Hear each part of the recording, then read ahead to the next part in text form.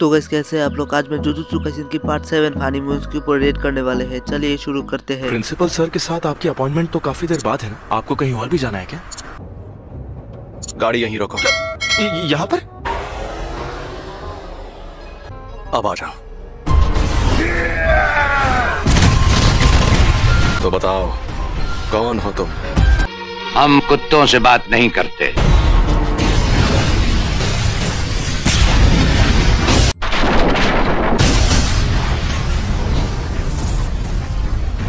पता नहीं था कि इसे मारना इतना आसान होगा। हाँ आसान तो है। पर तुम्हें बेवकूफ़ बनाना। ऐसी की तैसी। अभी जितना ताकतवर सुगुना है ये उससे भी ज़्यादा है। ऐसी शक्तियाँ रोज रोज सामने आने लगेंगी तो वो स्पेशल कैसे रहेंगी? क्यों तुम्हें डर लग रहा है क्या? मुझे तो मज़ा आ रहा है।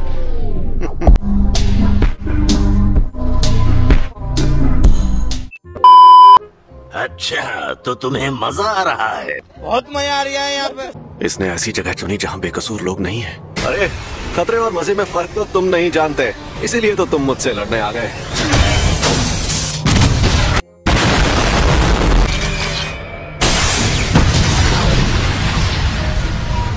काम तमाम हो गया।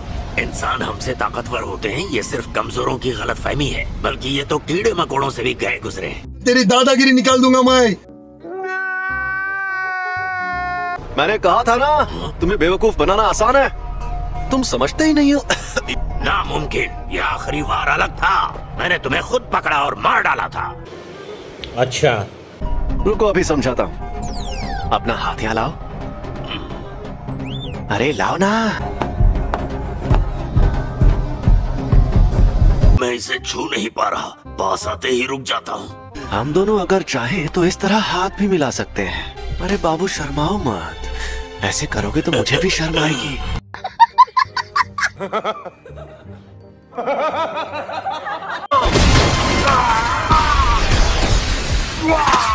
ये खेल बाकी है।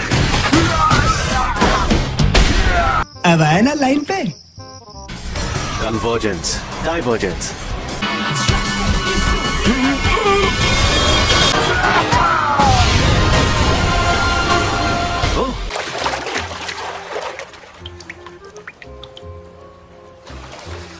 बात नहीं अब मैं इसे अपने शापित छलावे में ले जाऊँगा। No! God, please, no! No! Sorry तुम्हें इंतज़ार करवाया। ये यूजी है और ये हमें यहाँ देखने आया है। गोजो सर इसके सर पर वोल्केनो है।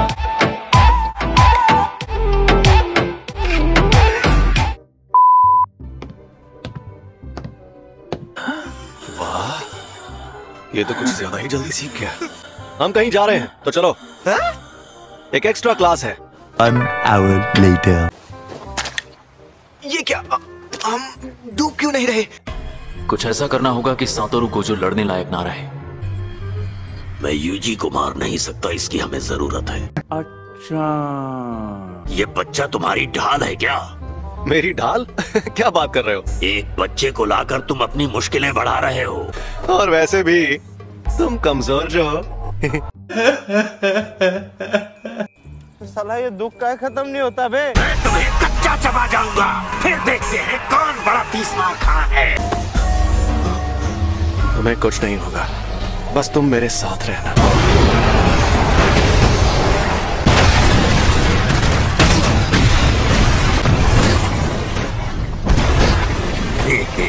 देखो कैसे बत्तीसी दिखा रहा है ससुरा। पहाड़ के अंदर शोलों का समंदर। ये सब? भाई यहाँ पे क्या हो रहा है? भाई यहाँ पे क्या हो रहा है? हम शापित शक्ति के इस्तेमाल से एक छलावा बनाते हैं जिसमें चीज़ें शापित तकनीक से बनी होती हैं। ऐसी छलावे की दुनिया बनाने में बहुत ज़्यादा ऊर्जा का इस्तेमाल होता है। ये क्या? इस बात की गारंटी होती है कि इस दुनिया में मौजूद शापित तकनीकें दुश्मन पर वार करेंगी। गारंटी होती है? हाँ होती है। चल झूठा। मैं अपनी इस दुनिया की शक्ति बढ़ाकर तुम्हारे अनंत कवच को खत्म कर सकता हूँ। बुरा लगता है भाई। मैं तो बस इसे आजमाने आया था। अगर मैं इसे नहीं मार पाया तो भी मुझे कोई फ़र्क नहीं पड़ेगा। शापित शक्तियों को इंसानों की जगह लेनी है। लेकिन ये इतने ताकतवर कैसे हैं?